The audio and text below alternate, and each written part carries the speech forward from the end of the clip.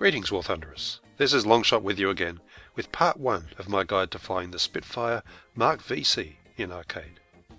This is a Tier 3 plane with a current battle rating of 5.3, which is commonly regarded as far too high for the plane's capabilities. Over-tiered because of its firepower, but simply outclassed at that rating in terms of its flying characteristics. Indeed, that's the common view on the forums, and it wouldn't surprise me if many players simply avoided this plane in favour of monsters like the Griffon-powered Mark 9. In my experience, however, it can not only compete at 5.3, it can positively shine. In fact, there's so much I wanted to show you that I've decided to make two videos on this plane. In this one, I'll demonstrate how to use the plane at low level, and in the second vid, I'll look at how the plane performs at higher altitudes. So let's look at the armour to begin with. There's plenty of protection for the pilot, along with shielding around a few of the engine parts, and even the ammunition belts. The internal components show fuel tanks located in the fuselage, with a couple in the leading edges of the wings. They're at most risk in head-on engagements, which you should avoid as fire is usually the death of this plane. Before I take it to a test flight, let's have a quick look at the modifications. Because there's no machine guns, cannon belts are on the first level, as you can see.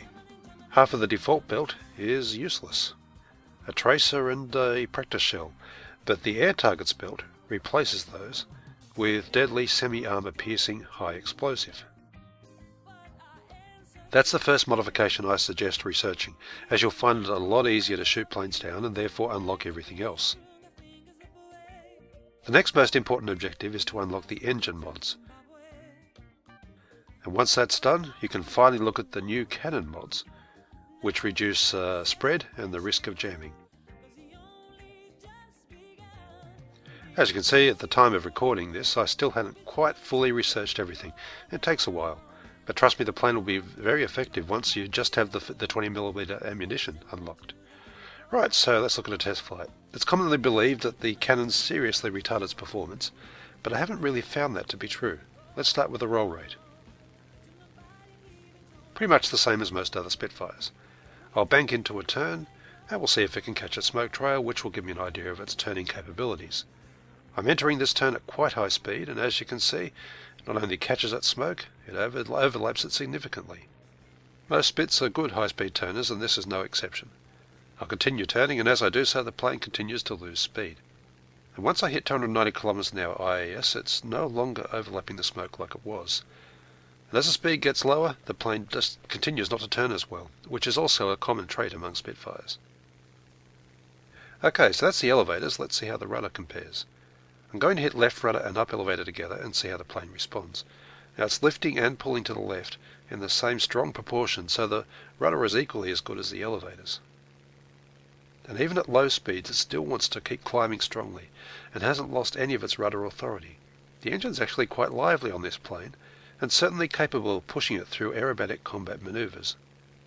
Can this plane be used to rope-a-dope enemies and get them to stall? Absolutely, yes it can. In terms of maneuverability, it's way ahead of the other Tier 3 planes with 420mm cannons, such as the Tiffy 1B or the F4U 1C. The VC is capable of a much wider range of tactics than either of those planes. Next, let's see how it behaves at high speed, and for that, I'll put it into a vertical dive rolling the plane to see if its ailerons begin to lock up as it accelerates. And once past 500 km an hour, it does begin to slow a little, but doesn't really start to stiffen that up until it passes 700 km an hour. And there's no lockup from its rudder either. The plane not only has above average high speed handling, nearly reaches 800 km an hour in the dive, which is not bad at all. Okay, up into a vertical zoom climb to measure how well it retains that energy along with the sheer power of its engines. And this will tell me how much altitude I can expect to recover from a high-speed dive, and how it handles when levelling the plane out at high speed. The low point of the dive was 1,070 metres, and I'm going to push the plane right up almost to the point of stall, and then level it out with elevators at only 65 kilometres an hour. The plane gets a little sloppy, but it performs the manoeuvre with a gain of around two and a half kilometres of altitude in the zoom climb. So can this plane perform boom and zoom attacks? Absolutely it can. Better than many energy fighters, in fact. However, in stock condition, the plane is not that good. This is my very first battle in the VC, so no modifications are unlocked at all. And I'm going to be quite conservative in my tactics. I'm only going to climb a little from my spawn altitude, I'll fly sideways to the battle and watch the inevitable flow of incoming enemies diving for ground targets. I'm not contesting bomber altitude at all as the plane doesn't have the engine power to compete up there. What I'm looking for is an enemy plane to dive on that hasn't yet been picked up by a friendly fighter. There'll always be faster planes doing the same thing down here, so you don't want to go after the first enemy you see. Wait till friendlies have committed, then start a dive toward the stream of incomings, checking your surroundings constantly as you do so. This shallow dive heading toward the enemy is building up speed while I decide who to attack, and that speed makes it hard for fighters to intercept you. Okay, the Heinkel 111 looks promising. I'll curl around and attack from above and behind. My convergence is set to only 300 metres, so I want to get in nice and close. But unfortunately, the default belts don't damage him at all, plus one of my cannon jams. So I'll continue in my run back to friendly territory with WEP to boost my speed. In front of me is a pea shooter. Surely he can be my first kill in the VC. Perfect deflection shot at convergence and I only get a hit. My speed's running low now and I'm back over friendly territory so I break left and look around. There's a P-51 below me that looks like a promising target so I drop into engage, although I'll need to keep an eye on that A6M5. Nice deflection shot lining up on the P-51 and down he goes with the loss of his tail controls. Now for the A6M5. Now I'm not going to turn fight this plane just going to climb above and look to loop over and dive on him. I have a perfect shot on him here, but unfortunately my cannon is still reloading. No worries, I can just try it again. Consider that a practice run. Climbed above him, now it's just a matter of timing the attack. And that's why at low altitude you should dogfight in the vertical in a Spitfire. It's far more effective than turn fighting horizontally. I've regained a thousand metres of altitude and I'm approaching the battlefield again, taking care to look around and keep track of my surroundings. If the enemy had control of high altitude above me, I'd need to constantly check for boom and zoom attacks. Again into the shallow dive to help me accelerate. Not only gives me high speed when I engage, it makes me a less attractive target for enemy fighters. Now this Dornier is an obvious target. I turned in and hit him from above with a deflection shot. And then I'm away, running hard toward my side of the battle. I won't climb until I'm absolutely clear. Even though I'm fighting at low altitude, I am not for furballing, and I'm thinking defensively at all times. That way my kills are clean and precise, my plane goes where I planned in advance for it to go, and I avoid being uh, caught in a dogfight. Right, there's a couple of dogfighting spits here. I zoom in to see exactly what this Mark 9's doing, hoping for a deflection shot. He's turned away from me and ch chasing a dodging target from behind is unlikely to work out well, so I switch to the other Spitfire. He's in the perfect position for me to swoop in from above, hit him at close range, and that handling in the dive was beautiful. And that's kill number four. And I'm again extending back toward friendly territory, and it's at this point that I'm starting to think the VC is actually not that bad, even as a totally stock level plane. Let's see if I can get a fifth kill for Ace of the day on my very first flight. Don't want to attack the P-63 as there's a bunch of planes already chasing him. I'll be patient, I'll hang out to the side here and wait for the right opportunity. The Focke-Wulf 190 is following the line of planes in at ground level. Probably hasn't even seen me, so I begin my shallow dive, then angle in for a deflection shot at the top of his plane. There's the ace of the day, and then things get a bit hairy.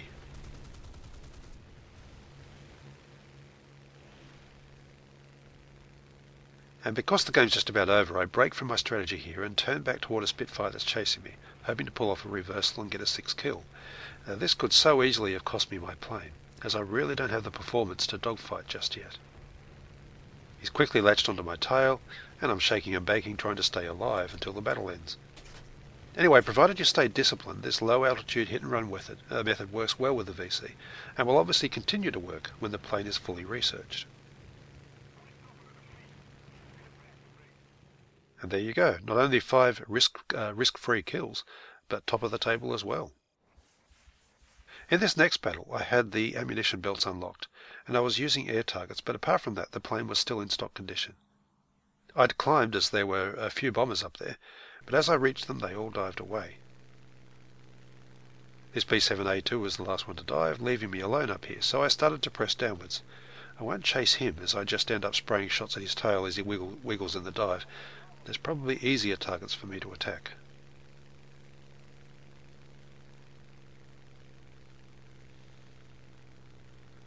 Half of their team are way behind the battle, chasing some poor sap that's gotten himself in a kill train. That's created a large gap in the line of incoming planes, so I can dive at the enemies over the airbase. And a Yak-9 here is completely oblivious to my presence, and a very easy target as I scream in at nearly 800 kilometers an hour.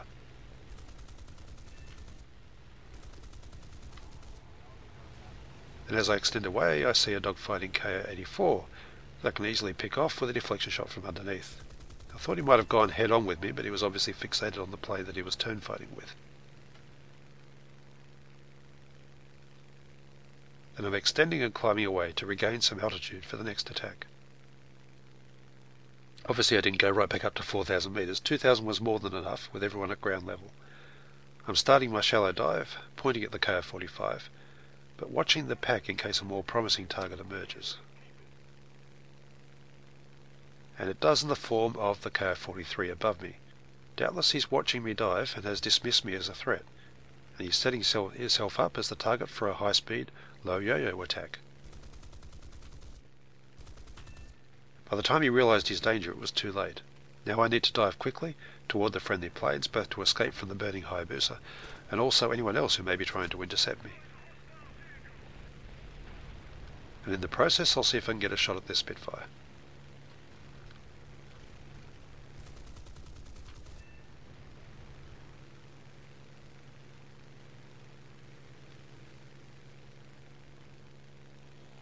and that's another successful raid.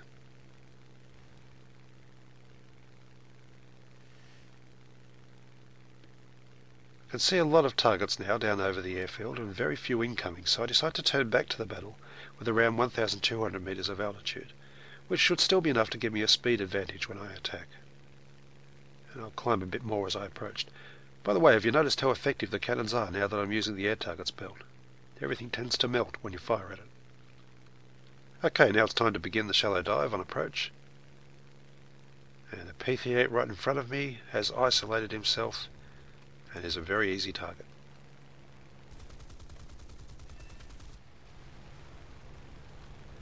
After aiming carefully at convergence distance, I'm quickly turning and extending away from the furball, checking my seeks to make sure I'm clear before climbing.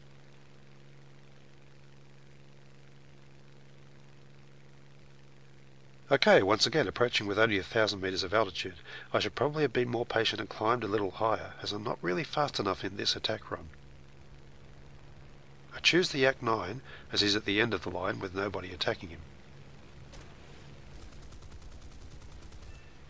And now I should have immediately run for safety, but I don't. I've become undisciplined already by attacking without enough altitude, and now I'm making it worse by turning and looking for a second target, telling myself I have time to escape.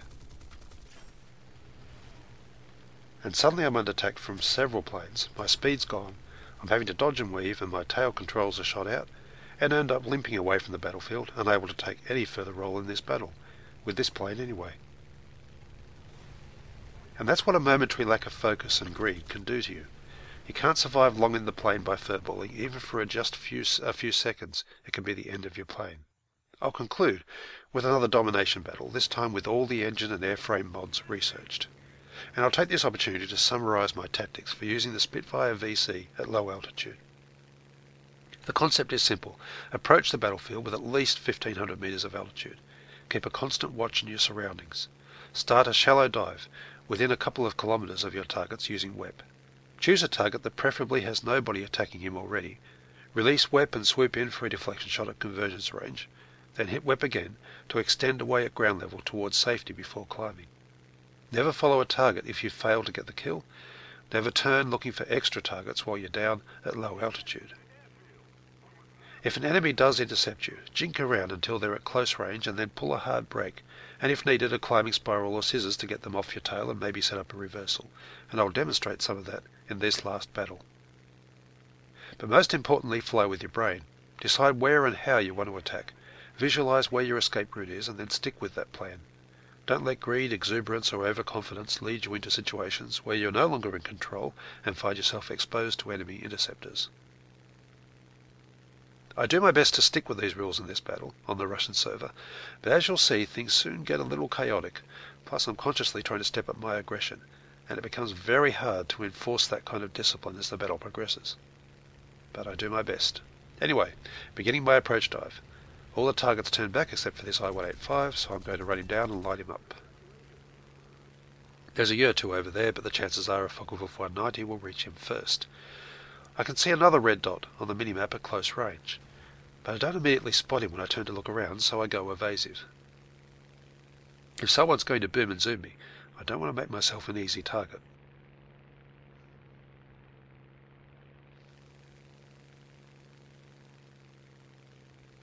Where the hell is he? Can't be the P-51 as that's a little too far away. Ah, there he is. Probably high enough not to worry about. Even so, I go into a dive as I fly toward the P-51 on the off chance he might survive long enough for me to get a shot at him, which he probably won't. Definitely won't. One last check at the guy at altitude, and he's being chased down by my squad mates. So I'm free to climb, ready for my next attack run.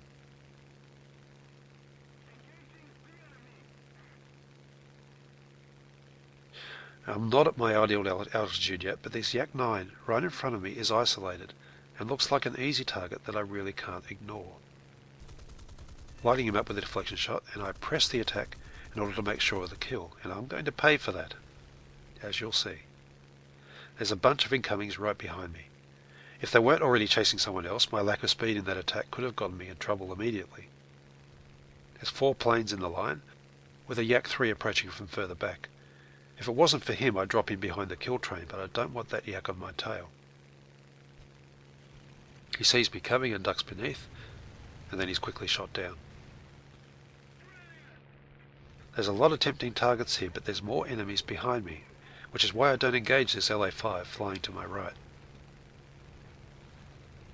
I'm, indeed, I'm assuming that I'm being targeted, which is why I'm flying evasively, and soon enough I find that I'm right.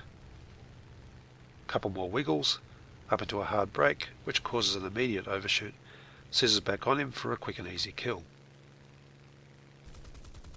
Still under fire, so I break up and left. Another overshoot, and now I have eyes on both enemy planes. And the 9K makes himself an obvious target.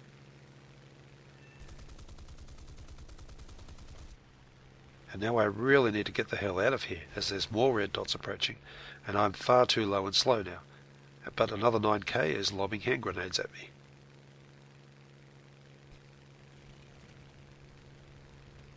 Rolling evasively as I fly toward my spawn, using WEP to boost my speed as much as I can. They're very close, so it's time for a climbing spiral.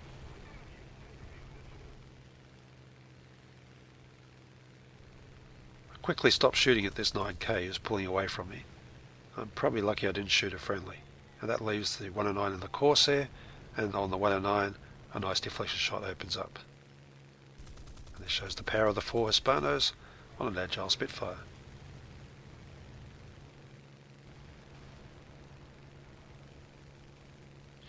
Finally I can climb and reset. I didn't take any damage, but that was a series of very close shaves, and it was brought on by initiating an attack with insufficient altitude and therefore not enough speed. However, by putting my survival ahead of getting kills and flying defensively, I've kept my plane in the air, plus I snagged three kills along the way. But I'm not out yet. I'm forced to turn back because there's a fresh wave of enemies that are too close to ignore. You don't stay alive in a slower plane by ignoring threats. You have to turn and face them. Okay, both 185s are gone. That leaves an I-16 and a Yak 3. I decide to follow the Yak 3 out toward the A airfield to get away from this area as it seems to be a bit of a magnet for incoming uh, enemy fighters. I'm not going to catch the Yak, but the P-63 is approaching, and he uses the effective zigzag method to, uh, to dodge my uh, frontal attack. Am I finally safe to climb? No, I am not. A 9T is inbound. So many yaks in this game, and I guess that's how you know that for sure that you're on the Russian server. But there's no escape for this one.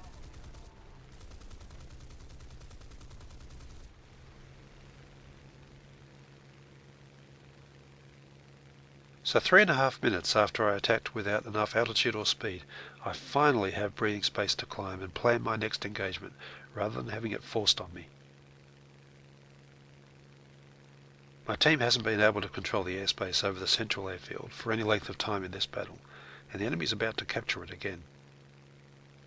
So as the next wave approaches, I'm going to continue my steady climb up to the edge of the clouds and see how the situation develops.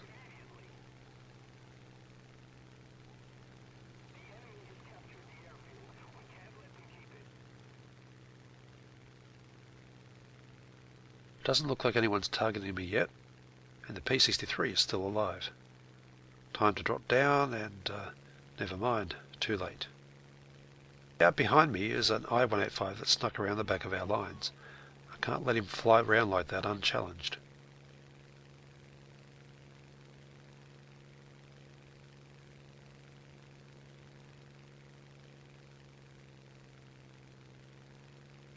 and he's ignoring me completely, which feels rather disrespectful. I'll send a few shells in his direction, see if that gets his attention.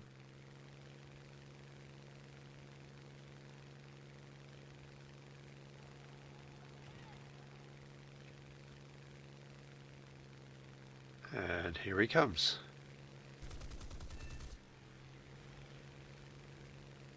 The situation overseas is not going well, but even worse there's a guy about to A with no one around to stop him. Looks like my team actually might be running low on planes. See a lot more red planes than uh, blue or green ones.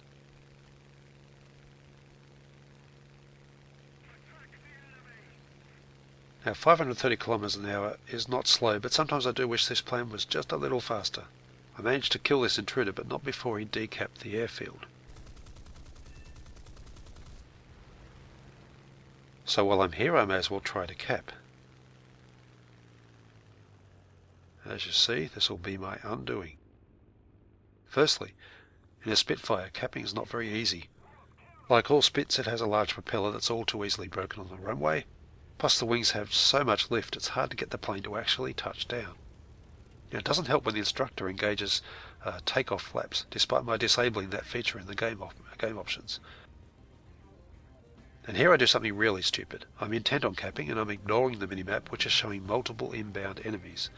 I decide to turn back for another cap attempt, and as you'll see that's going to cost me my plane. Suddenly the enemies are here and I'm forced to dodge. I've got no time to get my speed back, I've even forgotten to raise my landing gear, and soon enough someone will put me out of my misery. When you're flying a fighter, if you're not thinking in terms of offense, and you take your eyes off the battle around you, your plane ceases to be a fighter and becomes a helpless target. Anyway, I hope you found this video helpful. Please watch for my next installment on the Spitfire VC when I take it up to higher altitudes. If you want to see more videos like this, please click like and subscribe, and feel free to leave comments in the section below. Anyway, until my next video, good hunting, and I'll see you in the skies.